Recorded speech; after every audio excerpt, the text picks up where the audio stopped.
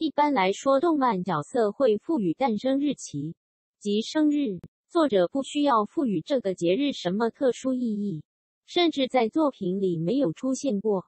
但只要该角色或者作品火了之后，那么无论是官方还是粉丝，都会在一段时间庆祝他的生日。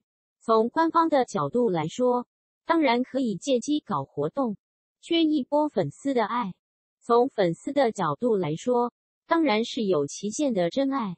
所谓的有期限，就是这段时间该作品或角色火热，而你还喜欢他，那么自然会记住他的生日。一旦热度与喜爱度都没了，不正是期限已到了吗？但作者很少会赋予角色的死期或忌日，除非该角色死亡的日子正好是某些特殊日子或节日。至少让读者或观众知道月份日期，否则多数都不会添加详细的死亡日期。一方面是觉得已经死亡的角色没有在现实中悼念忌日的意义；另一方面，如此悲伤的日子，官方也不好借此圈一波吧。所以，我们也许知道某些角色已经死亡了，但无法知晓具体日期，不需要知晓年份。而在近日，日本气象专家森田正光就通过月龄分析出来他的忌日——炼狱性寿郎。森田正光是资深的气象预报员，观看完《鬼灭之刃》剧场版后，他就对该作出现的月亮，包括与月亮有关的十二鬼月充满兴趣，于是就萌生出计算岩柱死亡日期的念头。十二鬼月中，上弦与下弦就是借用行如宫的半月命名方式。满月大约过了七天，就变成如宫弦的半月。宫弦朝上叫做上弦月，宫弦朝下叫做下弦月。而上弦月大约过了七天，就会变成满月。重复上述周期，满月之后的半月就会是下弦月。而通过月亮的形状是取决于太阳与月亮的位置。那么就可以通过月亮形状与高度推断当天的时间。于是我们去看剧场版的时候，就可以推算月龄是第二十三天左右。从地平线上稍微上升了一些。毁灭是处于大正时期，而且还是大正元年（一九一二年）。这个是根据最终选拔里守鬼说到四十七年前庆应年间被玲珑击败。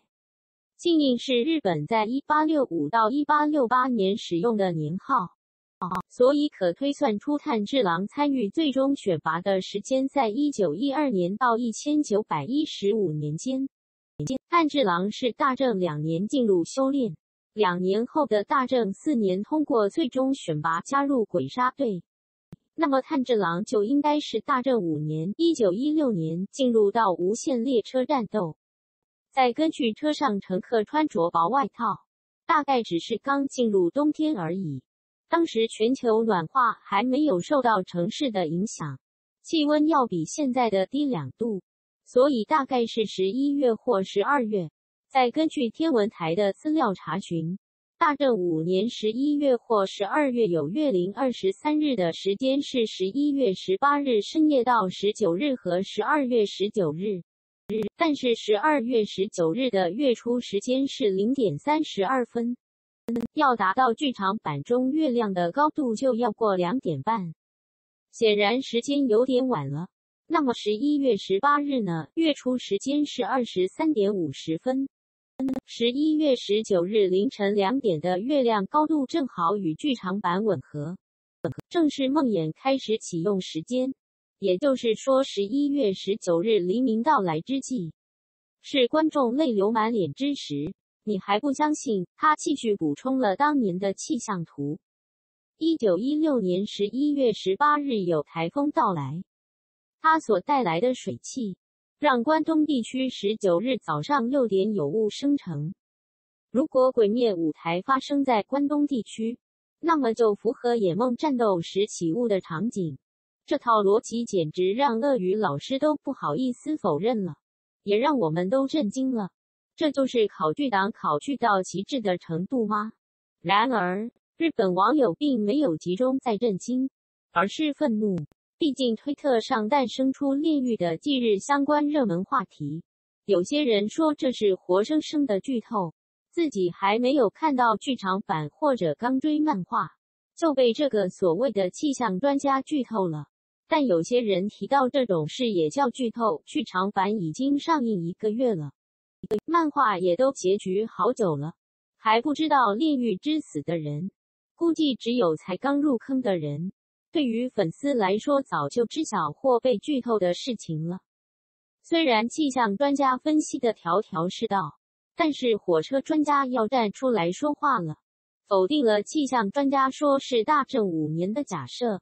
DB 动画第二十六集最后出现的是八千六百二十型蒸汽火车，可以确定是前方的连接器是自动连接器。北海道是在一九二四年。本州以南是在一九二五年，将长期使用的螺丝式连接器全部更换为自动连接器。